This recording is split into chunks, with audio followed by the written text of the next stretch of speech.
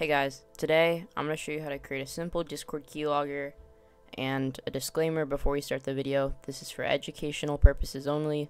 Don't send this to anybody. Don't use this for malicious intent. If you do, it's not my fault. Let's get into it. So, first thing you're going to want to do, install uh, Python. It's just like the coding language that has to be installed when making stuff like this. And now, when you create a folder, you could rename it to .py and it will be its own thing. Like, make it whatever. Dot pi. See? So, you're gonna want to go to my Discord where I have all this, like, information, coding stuff, Roblox, hacking, all kinds of stuff. It's pretty cool. Start making more videos on it. And you're gonna make a folder and call it dot, uh, keylogger.py. Just copy that put it in here. Sorry if the quality of this video isn't that good. I'm still new to this. And then just open that with TextPad and copying the code I have on the Discord. Like copy all of this. You could edit it or whatever if you want. And then you're going to want to create a Discord server because basically how this works is how it sends it to you is this discord feature called webhook that just it's like a discord bot and it sends you the stuff. So just create a webhook name it whatever copy the webhook and paste it in here.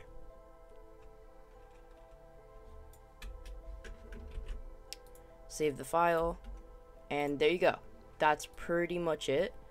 And now to run it you have to install some things with python so just go back to the Discord and copy this command. Basically, uh, with Python, you have to install things to make different things happen. Like this installs the function that allows you to press keys and it logs it.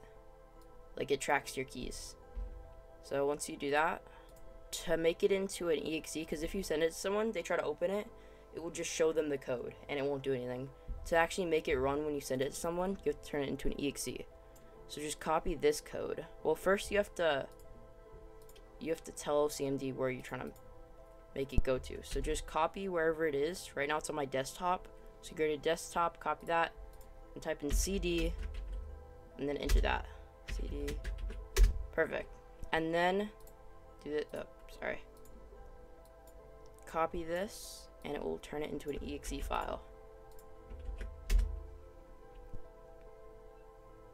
We'll generate a couple things. Go to here. And it should go through in a second.